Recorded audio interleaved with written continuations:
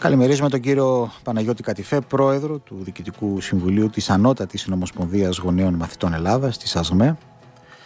Καλημέρα, πρόεδρε. Τι κάνετε; Καλή σας μέρα.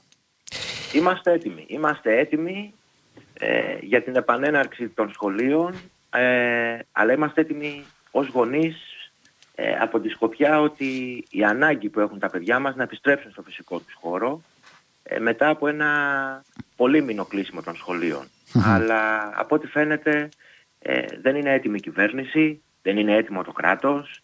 Ε, έχει χαθεί πολύτιμος χρόνος όλους αυτούς τους σχεδόν πέντε μήνες που ήταν κλειστά τα σχολεία ε, ώστε να πάρθουν τα ουσιαστικά μέτρα που θα εξασφαλίζουν ότι το άνοιγμα των σχολείων σε όλες τις βαθμίδες θα συνοδεύεται και με όλα τα απαραίτητα μέτρα που θα διασφαλίσουν και την υγεία και τη μορφωτική διαδικασία για όλους τους μαθητές.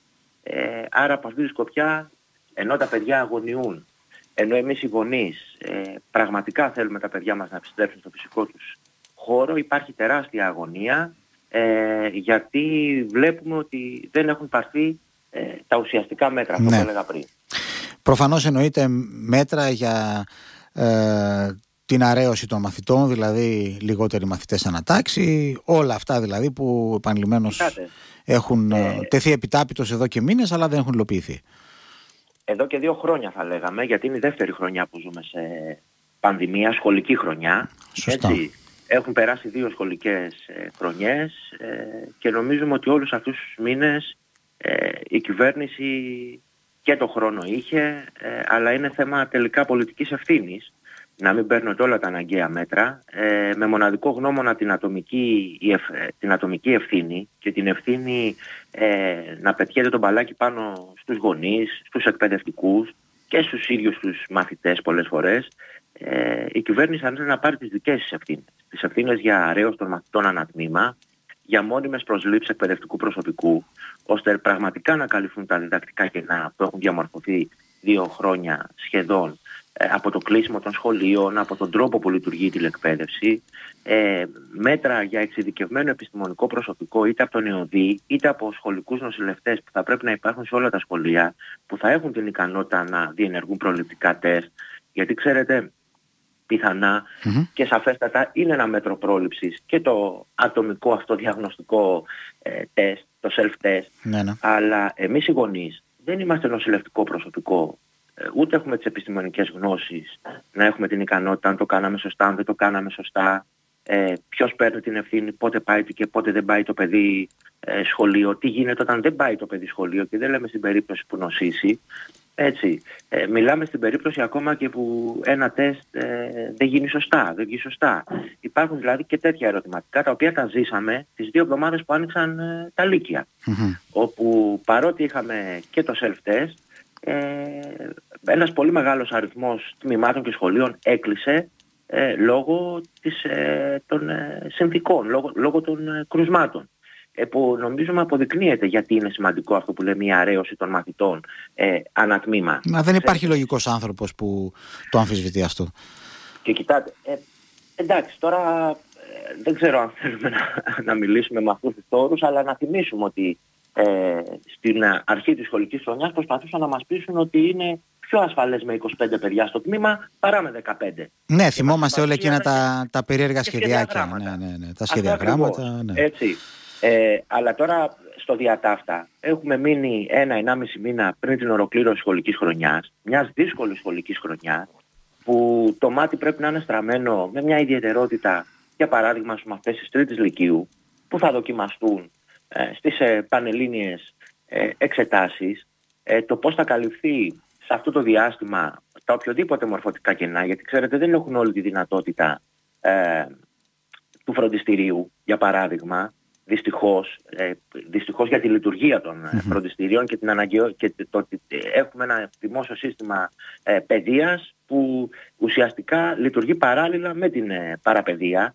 Ε, το βασικό όμως είναι ότι όλα αυτά τα μορφωτικά κενά πώς θα καλυφθούν με ενισχυτική διδασκαλία, με ενδοσχολικά φροντιστηριακά ε, μαθήματα και, και ξέρετε εκτός από τα μορφωτικά κενά είναι σημαντικά, σημαντικές και οι ψυχοκοινωνικές επιπτώσεις στα παιδιά. Όλο αυτό το διάστημα που ήταν κλειστά τα σχολεία και με την ιδιαιτερότητα που έχει ε, η κάθε ηλικιακή ομάδα είτε είναι μαθητής του νηπιαγωγείου, είτε είναι, μαθητή, είτε είναι έφηβος του γυμνασίου ε, λυκείου. Και είναι ζητήματα ε, που πραγματικά, ξέρετε, ε, ανακεφαλαιώνοντας, νομίζω ότι είναι σημαντικό να, να αντιληφθούμε ότι δύο χρόνια πανδημίας ε, και το πώς λειτουργήσαν τα, τα σχολεία, νομίζουμε ότι αυτό που έχει φανεί είναι ότι ε, εκτός ότι από το μεγάλο ασθενή που είναι η δημόσια υγεία, φάνηκε ότι νοσεί και νοσεί και πολύ άσχημα ε, και η δημόσια παιδεία.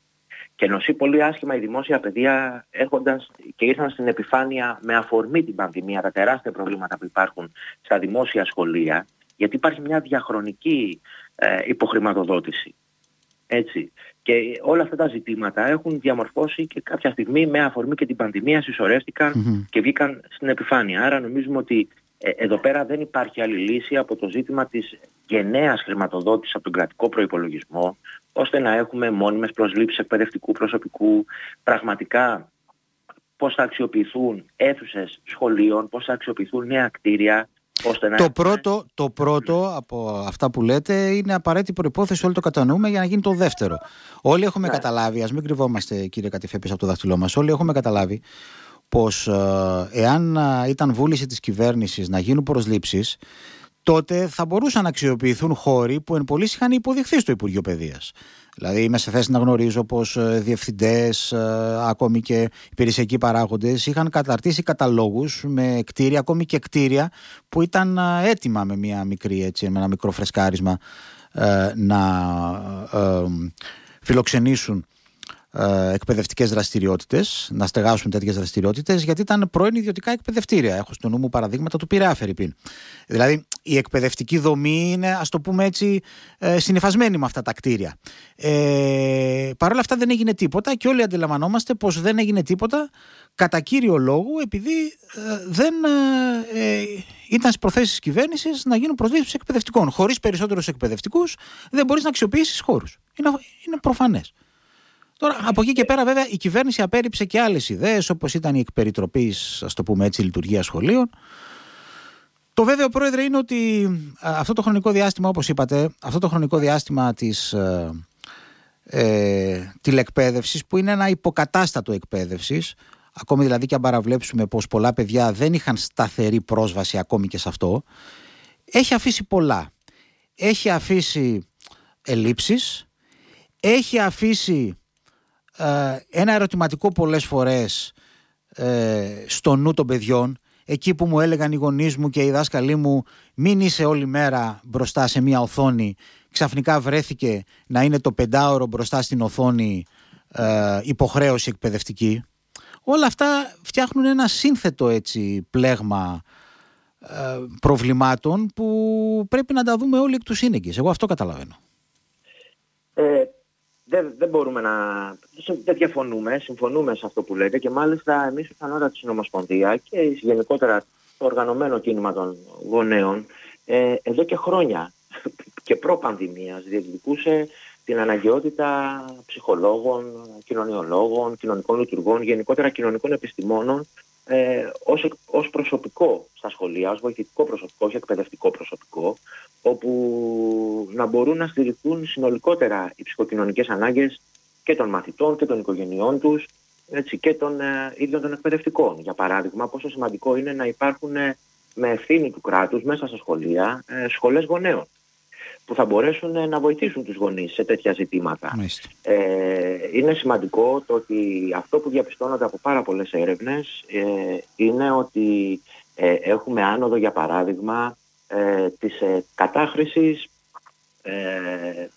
των ηλεκτρονικών μέσων μέσα στην πανδημία από μαθητικές ηλικίες. Έχουμε αύξηση της χρήσης ναρκωτικών ουσιών ε, μέσα στην πανδημία στις μαθητικές ηλικίες. Αυτά δείχνουν τα επίσημα στοιχεία από τη χώρα μας που είναι ζητήματα που ξέρετε ε, και αυτά τα ζητήματα εμείς ως ε, σύλλογοι γονέων μας ενδιαφέρουν γιατί μιλάμε για τη ζωή των παιδιών μας ε, αλλά υπάρχουν, ξέρετε, έχουν συσσωρευτεί ένα σωρό ζητήματα και ένα σωρό προβλήματα τα οποία ε, έχουν κάνει ακόμα πιο δύσκολη τη ζωή ε, της ε, ελληνικής οικογένειας σε αυτές τις συνθήκες σε σχέση και με τη μορφωτική διαδικασία. Να σου ένα χαρακτηριστικό παράδειγμα. Ένας γονιός ο οποίος δεν έχει να αφήσει τα παιδιά του έπαιρνε ε, άδεια ειδικού σκοπού, που κάθε τρίτη μέρα η τέταρτη χρεωνόταν από την κανονική του άδεια. Μέσα. Νομίζω σημαντικό κομμάτι πλέον των Ελλήνων δεν έχει πλέον καλοκαιρινή Γιατί με τόσους μήνες που ήταν κλειστά τα σχολεία, η μία-μία που έπαιρνε κάθε τέταρτη μέρα, έτσι, ε, έχει, να το πω έτσι απλά, φάει την καλοκαιρινή του άδεια. Για μας είναι ένα ζήτημα αυτό. Είναι ένα ζήτημα. Υπάρχει τεράστιο ζήτημα ότι ανοίγουν τα σχολεία με όλα αυτά τα μέτρα που υπόθηκαν. Δεν έχει ανακοινωθεί κανένα ουσιαστικό μέτρο για το ζήτημα των σχολικών μεταφορών. Δηλαδή στα διαδημοτικά σχολεία ή στην περιφέρεια που τα παιδιά πηγαίνουν με ε, πούλμαν, έτσι, που είναι μακρινά τα σχολεία, εκεί πέρα μπορεί να έχουμε και 50 μαθητές μέσα σε ένα κτέλ ή μέσα σε ένα πούλμαν.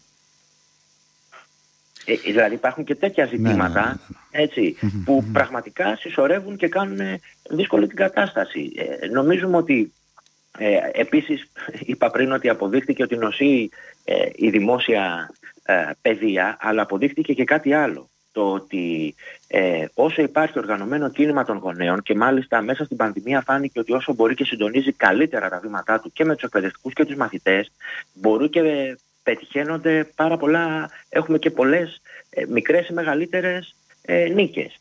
Ε, ξέρετε, ε, είναι σημαντικό για παράδειγμα το ζήτημα το ότι δεν θα δοθούν φέτος εξετάσεις. Ναι.